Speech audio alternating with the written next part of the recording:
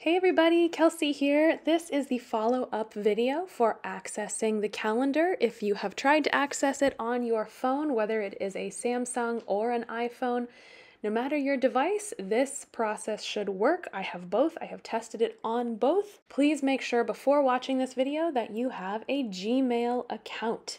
Please make sure you have a Gmail account. If you go, oh no, I only have a Yahoo, I only have an AOL, Please follow the link in the comments below for signing up for a Gmail account. It is free, it takes about 30 seconds, and it will allow you to see all of the hundreds and hundreds of tours that have been entered into our guides shared calendar. So once you have signed up for your Gmail account, please get your device, your, your iPhone or your Samsung phone, turn it on, and open your browser, whether that is Safari, Chrome, However, you access the internet, open that application, and let's go ahead and get started.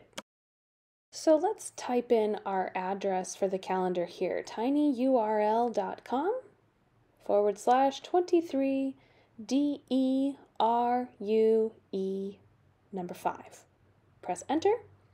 If you have not signed in to your Gmail account, this is where it will prompt you to sign into your Gmail account. So I'll enter one of my emails that has never accessed the calendar before. And this is in Spanish because I'm in Spain, but the the steps will look the same. Basically, put in your email and your password. Press enter or continue, and you might get a pop-up like this that says switch to the app. You can just click the bottom button that says I'm not interested, and you will get this screen. You are signed in. See how I'm signed into my Gmail account there? At the bottom of the screen where it says Kelsey Travels, but yet I'm not seeing the events. So we're going to type in our calendar address one more time just to make sure. And this is also what you will see if you are signed into your Gmail when you when you enter the calendar's address. However, we're still not seeing our events. We're still not seeing our tours. So I want you to scroll down. Do you see where it says mobile and desktop? This will make it easier to find. So I would click desktop. This is the view that you would see if you were on your computer.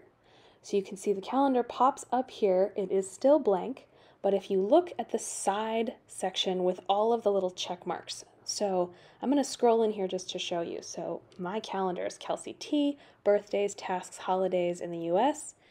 And because I don't see heygoguides at gmail.com, I'm going to click on that little plus section, which will allow me to subscribe to a new calendar. When I click on the plus, then I click subscribe to a new calendar, it'll say add calendar. This is the step we've been missing for the folks who have not been able to access the calendar. This is what will allow you to access it. This is where you type in hey go guides at gmail.com and this will not do anything to your calendars. This will not allow us to see yours. This will not delete any of your information or your events. This will only allow you access to view the HeyGo Guides calendar. Then you press enter or return, and you'll see the text goes away, but in the left hand part of the screen, the lower part, you see that that little yellow button has been added, HeyGo Guides. So in the upper left hand corner, click the arrow next to settings, which is to go back to the calendar now. And now we've added the HeyGo Guides calendar. Well, why can't I see it? Well, remember those check marks? See how there are a lot of things checked except for the HeyGo Guides calendar. So in order to avoid confusion, I would recommend unchecking everything else. This doesn't delete anything, this just means you are not currently able to see it. If you click on it again, let's say it's your own calendar, if you click on it again, all of your events will reappear, so don't worry about that.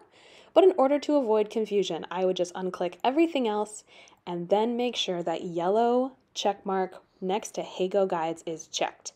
And you can see all of our events appear, all of our tours appear. Yay! In order to make it a little bit easier to read, do you see in the upper right hand corner where it says week with a little drop down arrow? I would click that little drop down arrow that says week and click schedule. that will be the most familiar version of our calendar that we have seen in a similar manner to HeyGo. So click schedule, and then you can see all the list of tours. And then in the upper left hand corner where it says April 2023, and it has arrows pointing backwards and forwards. If you want to go to other dates, you can click those arrows that go backwards and forwards. Let's, for example, go to a tour in a few weeks here, and let me show you how to access those tours. That is another thing we learned on the survey we just sent out that there is still some confusion about accessing the actual tours once you're on the calendar. So let's go ahead and click on this Switzerland tour on May 13th. You can see it says Kelsey, Clemens, Switzerland, Postcard Village. And at the very top of that is where you can get to the tour link where it says buy me a coffee. That link is the actual tour link. For most guides, it doesn't have to be a buy me a coffee link. It could be a YouTube link, it could be an Eventbrite link, but most guides have put the actual tour link at the very, very top. And then once you click on that link, you can see here is the tour itself. This is where you can get tickets for it. And then let's go to a different tour. So click on the X in the upper right hand corner of this pop up here, and that'll let us go back to the calendar. And let's go to a tour by Stefan here, the Keukenhof Millions of Flowers on May 4th.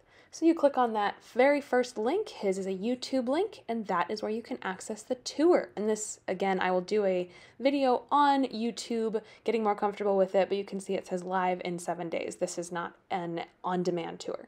And if you click out of it here, you can see the link again. You click the X in that pop up, and you can again see all of the options for the many, many dates I'll show this example on my Samsung phone, so it's the same process. You type in the tiny URL link, it will take you to the calendar. This one might look a little different.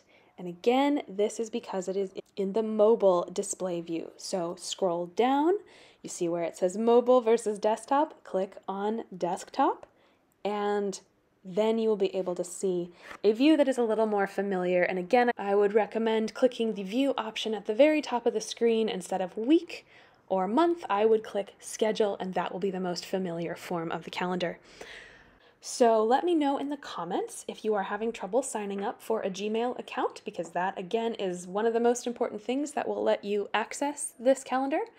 And if it is still not working for you, please let me know what's happening so that I can create another video for us to get everybody on the same calendar page. all right, I hope that you all enjoy your tours. And again, for all of our YouTube channels, please subscribe, watch a couple minutes of someone's video. In this case, you have watched a few minutes of my videos here, so please subscribe to my YouTube channel. And I will hopefully see you on a tour. Thanks, everyone.